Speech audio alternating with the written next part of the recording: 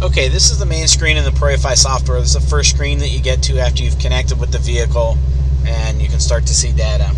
Now we're connected to a running vehicle that's idle so I can have the gauges all updating and the strip chart updating across the bottom. And our goal here on this particular video is to walk you through this screen and show you the different things that you can do from this screen and the different features that we have that are available on this screen.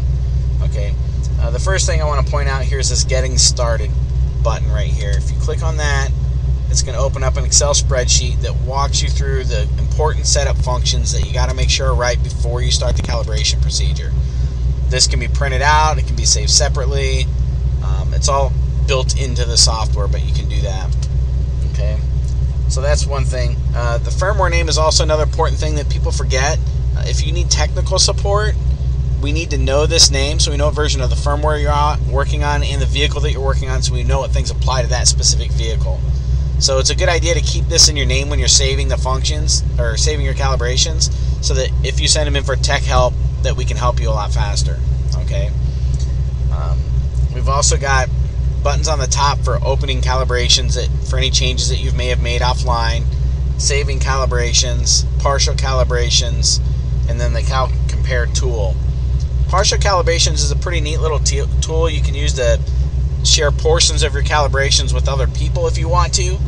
Um, you can go into, say, your boost control settings, and you've got all the different things in here that you can save that are just related to boost control. Now, if there's certain portions of the calibration you don't want to send for whatever reason, maybe it's on a different pin, or uh, there's certain things that you just want to, don't want to share, you just uncheck those, and it won't save those portions of the calibration. Okay. But otherwise, you just hit OK, type in boost control settings, and save it. All right. So that'll that's pretty handy for when you're building different maps and things like that. You can use certain things you use in another vehicle you may not use in another vehicle. You can pull those in as you need. Okay. Um, the units button right here. This is important.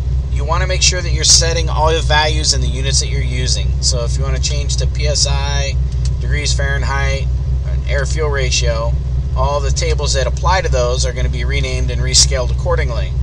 Air fuel ratio, manifold pressure and PSI, coolant temperature in degrees F. But whatever your units are set up to be, that's the values you need to be entering in all the tables uh, throughout the software. Okay, the strip chart on the bottom. This is a really handy tool. I think a lot of people don't really use this for what it's meant to be used for. Uh, this tool is meant to save you time in the calibration process. Rather than saving and opening logs all the time, you can get all the things done that you need right here without saving and opening logs. So if you'll notice when I click on and off of this, this gives me a yellow border. This yellow border means this is the active window. And if I want to pause that window, I can just hit the space bar. The space bar pauses that window. Hit the space bar again and it unpauses that window. Well, that's handy for dyno pulls. When you can make a pull in the dyno, you come off the idle, hit the space bar, pause the data, make any changes that you want to see, and then uh, come back and hit the space bar again and continue doing what you were doing before. This has a 20 second live view window as well as a 40 second buffer. So what that means is what you're seeing live is the most recent 20 seconds, but past that 20 seconds, it stores another 40 seconds of buffer time.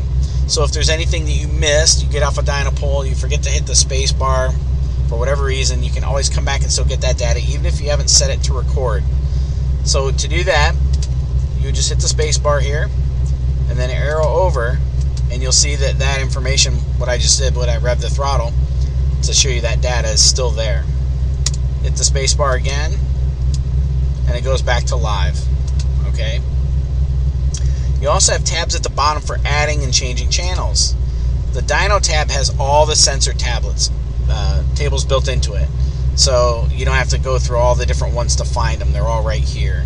So if you want to add anything, just click on the plus button. It adds them over to the chart, and it'll start logging those as well. If you want to take them away, you just hit the minus button, and it'll remove those. You can create all the channels that you want to see, save them as a different name, and then create your own set of templates that you like to use. So that can all be done through here as well. Down at the bottom over here, you can edit the colors and the ranges that are showing up. So if I want to change this from red to blue, and set my limits different for what's being displayed in the strip chart. I can set those limits here, close them out, and that's it. There's all my changes. And then that gets saved in your template information as well. So there's quite a bit of stuff that you can do from this main screen um, as far as just kind of checking the system out and do your recording from the screen. These tabs over here will take you into the other screens. We'll go through those one at a time here as well shortly. Okay, another thing we want to cover in, in this window is what these gauges and needles do. Uh, a lot of people don't realize why we have all these different needles on these gauges. Well, the answer is pretty simple. We want to make it easy for the tuner to, at a glance, know where some of his settings are to see if there's a problem. So, for example, this needle right here tells you current RPM limit. The red needles tell you the active RPM limit, or active RPM, excuse me. And then there's a blue needle, or blue purplish needle underneath here that gives you idle set point.